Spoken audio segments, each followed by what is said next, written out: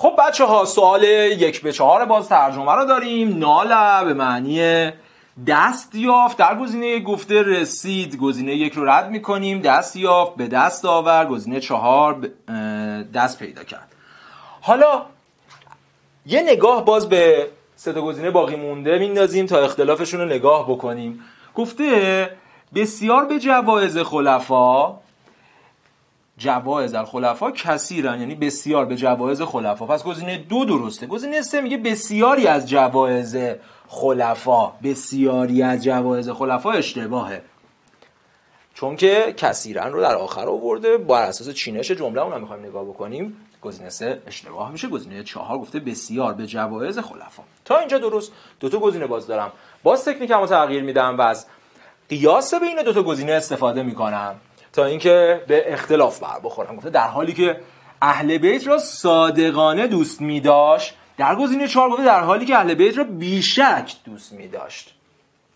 خب اختلاف خیلی هم اختلاف زیاده صورت سوال خب من صادقن یعنی صادقانه دوست می داشت. پس بنابراین چون که چون که ما اینجا الان مفعول مطلقی داریم مفعول مطلقی داریم که بعدش صفت داره.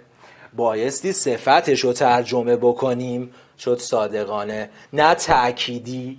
اگر ما اینجا نداشتیم صادقن رو به صورت تأکید فعل ترجمه می کردیم نکته ای که گفتم نکته بسیار مهمیه ها. خیلی دقت بکنید این قسمت رو. در ترجمه چی داریم این کار رو انجام میدیم؟ در ترجمه مفعول مطلق داریم این کار رو انجام میدیم که کارش اگه تأکیدی باشه تأکید فعلمونه و اگر از نوع بیانی باشه بایستی توجه بکنیم ببینیم که بعدش مضافان الیه اومده که مثل مانند بایستی بیاریم و اگر بعدش صفت آورده باشه صفت رو ترجمه بکنیم. الان اینجا نگاه کنید صفت اومده پس ما صفت رو بایستی ترجمه بکنیم که به درستی در گزینه دو می‌بینیم. این نکته رو پاسخ تستمون رو هم با نکاتی که بیان کردیم و این نکته بسیار حیاتی و مهم که در بخش ترجمه اومده و باید بهش دقت بکنیم گزینه دو رو انتخاب کردیم.